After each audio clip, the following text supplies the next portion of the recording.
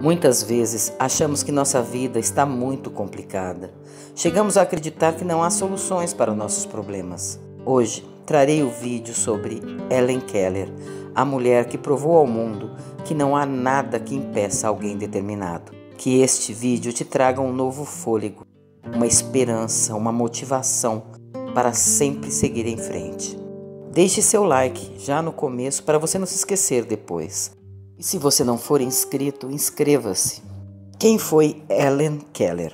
Ela foi uma escritora, conferencista e ativista social norte-americana. Primeira pessoa cega, surda, a conquistar um bacharelado.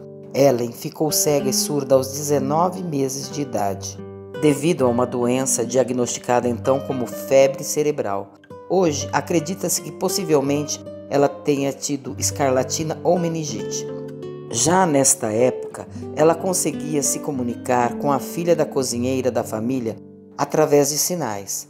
Aos sete anos, Keller já tinha mais de 60 sinais com os quais se comunicava com sua família.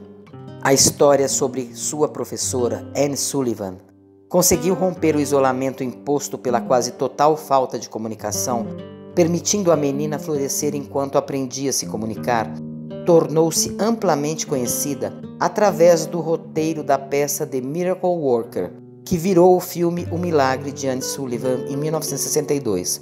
Seu aniversário, 27 de junho, é comemorado como o Ellen Keller Day no estado da Pensilvânia e foi autorizado em nível federal por meio da proclamação presidencial de Jimmy Carter em 1980, no centenário do seu nascimento. Confira estas 10 citações de Ellen Keller que te ajudarão a vencer seus desafios. Não importa o quanto se sinta em posição desfavorável, não se desencoraje, não tenha medo, não se desespere. A felicidade é a fruta final e perfeita da obediência às leis da vida. Nunca se pode concordar em rastejar quando se sente ímpeto de voar.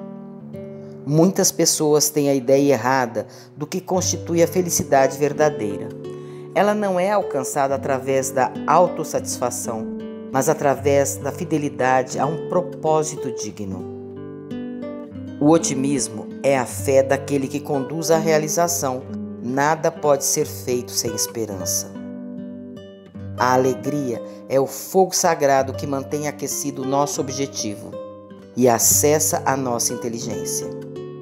Tudo o que amamos profundamente converte-se em parte de nós mesmos. Quando uma porta da felicidade se fecha, uma outra se abre, mas frequentemente nós olhamos tanto tempo para a porta fechada que não vemos aquela que se abriu para nós. O caráter não pode ser desenvolvido na calma e tranquilidade. Somente através da experiência de tentativas e sofrimentos a alma consegue ser fortalecida, a visão clareada, a ambição inspirada e o sucesso alcançado.